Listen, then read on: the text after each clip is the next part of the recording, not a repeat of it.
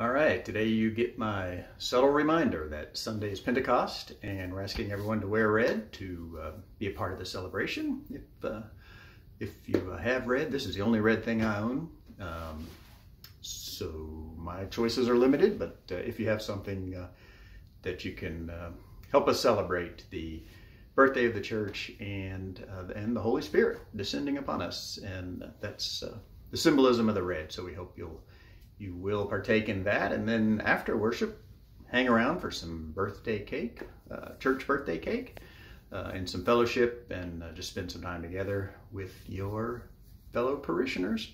Uh, also, it is Memorial Day weekend, uh, so we will um, uh, offer prayers for those who have served and are serving. Um, and if you want someone special remembered, we will uh, have the opportunity before the service uh, at the last minute, if you haven't done it yet, uh, put names of those who've served on a piece of paper and that'll be up on the altar and we will pray over those during the service uh, and, uh, and recognize Memorial Day. So should be a, uh, a fun and spiritual Sunday. I think look forward to having everyone there and especially look forward to cake. Um, and yeah, and we'll move into summer and the Memorial Day weekend. So look forward to seeing you there. Have a great week.